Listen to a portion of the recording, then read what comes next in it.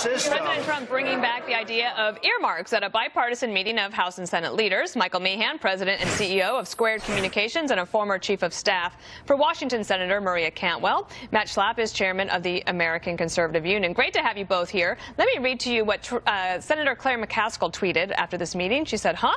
The president just embraced earmarks. Talk about the swampiest of swamp creatures. You got to be kidding me. She probably, Matt, is thinking about the old bridge to nowhere and how, you know, that really fueled a lot of frustration in the country and I think really fed into the Tea Party. Um, what do you think of this idea, though, that is there some merit to having some way to sort of get these deals done? Uh, eh, I'm lukewarm at best, but I, I do think it's interesting that Claire McCaskill uh, chose to criticize uh, the president because I thought that was the most extraordinary video I have seen coming out of the White House. I think in the whole time I've been in politics, it was like the American people got to see uh, how a meeting goes, and they got to see that's the Donald Trump. For those of us who dealt with him even before he was president, they got to see a little bit of how he talks and mm -hmm. runs a mm-hmm. meeting, and uh, it's different than what most presidents would do. But when you're a part of that, it's very engaging because he listens, he's quick to respond, and you really you get his attention. And I have a feeling that this is going to spur other Democrats who are smarter to say, hey, I am going to work with the president on certain things?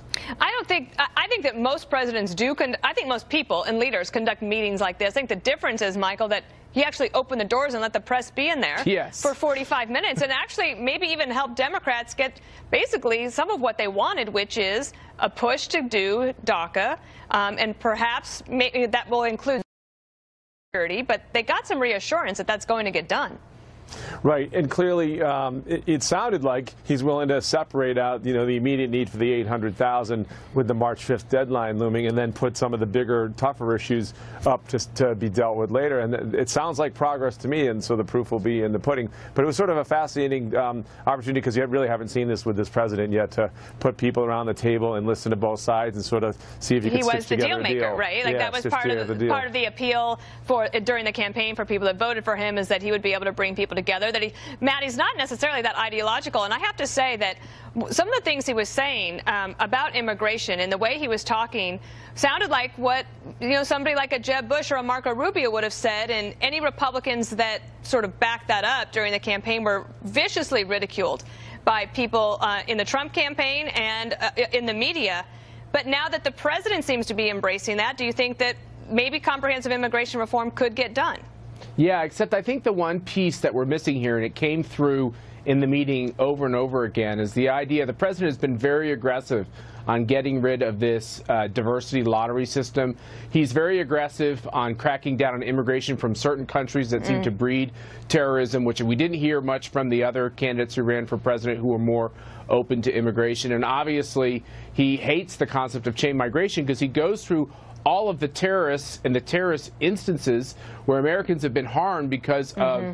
chain migration. So mm -hmm. uh, he's actually pretty uh, tough uh, on those types of questions mm -hmm. and the wall, which uh, I think is unique unique for him. But I think I don't know if we're going to get to a deal here, uh, Dana. I, I'm not sure we're going to get to a deal on the spending bill, but I do think we could get to a deal moving forward early in the year on getting on really changing the way we do immigration in this country, securing our southern border, and also giving the Democrats maybe a few things they want. All right. Well around, Michael and Matt, because I want to ask you about Arizona Sheriff Joe Arpaio setting his sights on the U.S. Senate and other 2018 news.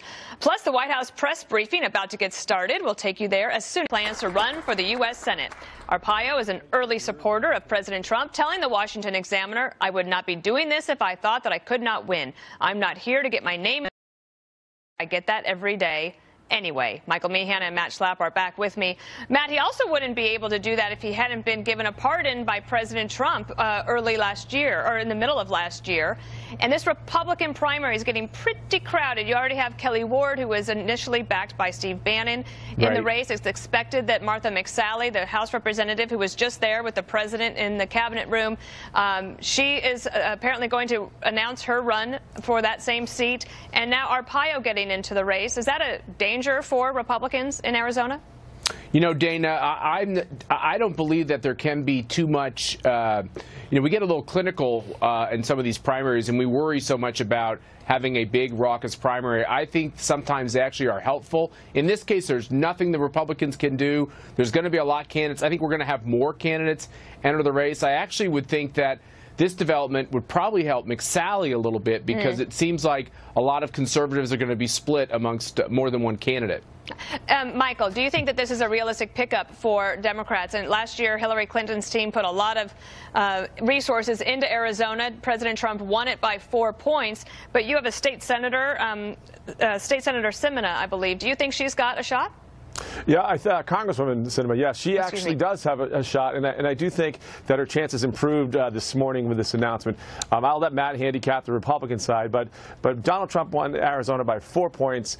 Uh, uh, the sheriff lost his sheriff's race in a very Republican county, Maricopa, mm -hmm. and I just think that it, that it's probably not the best platform to go make a statewide run from. And I think we have a very good candidate. She's raised a lot of money. She's very good on the stump, uh, and I've become the. Well, and Arpaio gives her a little more to talk about about out there on the stump, I would imagine. Sure does, and things that you normally don't get to talk about, like presidential pardons. You know. And just because I want you to have a little bit of fun today, I'm going to show you a uh, play for you a soundbite from President Trump talking about challenger to him in 2020. Just now, he said this. Watch. Oprah would be a lot of fun. I know her very well. You know, I did one of her last shows. She had Donald Trump, this is before politics, her last week and she had Donald Trump, and my family was very nice. No, I like Oprah. I don't think she's going to run. I don't think she's going to run. I know her very well. Michael, I'll let you take the first whack at that. What do you think about all the Democrat hysteria around po a possible Oprah run? Look, it's been a long year for Democrats, so clearly anybody who's as popular as Oprah Winfrey, a billionaire, she runs her own TV network, she, she's, you know, she, she matches Donald Trump. But the truth is, Americans usually pick the opposite of the previous president, so I'm not so sure how she would match up in a, in a, in a general election against Donald Trump. And I don't think she would actually want to run. I mean, I think one of the first things, Matt, that the Democrats would ask Oprah is, are you willing to release your tax returns? And I have a feeling the answer would be no. Yeah, let's face it, running for president seems very uh, enticing to a lot of very famous people, but the actual process of doing it, look what happened to Hillary Clinton. Uh, it really shows oh, your weaknesses, and sometimes you take someone who's outside of politics, like an Oprah Winfrey, you th throw her through a campaign, something she's never done before. My guess is she'll be greatly diminished if she tries to do it, and that might cause her not to do it in the first place. Well, I guess you can't blame Democrats for having a little fun this week, Michael. No, you, are right. You've had a tough year. But we love having you on the program. Michael Meehan and Matt Schlapp.